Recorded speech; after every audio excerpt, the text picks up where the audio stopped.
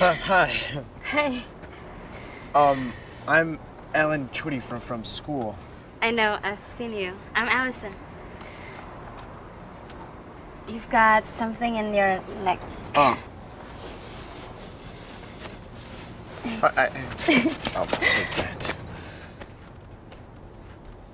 Okay, so um, I'll I'll see you at school tomorrow. Yeah, I'll see you at school. Okay. Okay. Okay. Okay. Okay.